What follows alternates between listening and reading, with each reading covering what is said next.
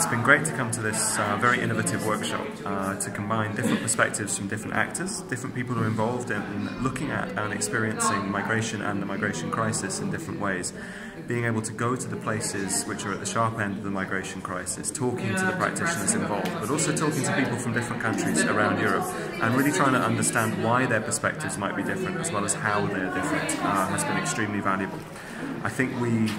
came in, probably all of us, with certain preconceptions, some of which have been challenged, but also some things you can cling on to and hold on to about the fact we can't externalise migration, we have to really deal with the inside issues within the EU as well. And this is extremely valuable again for trying to understand why we have such tensions, why different countries in different geographies, but also with different capacities and different willingness to act on migration, really do see this crisis differently.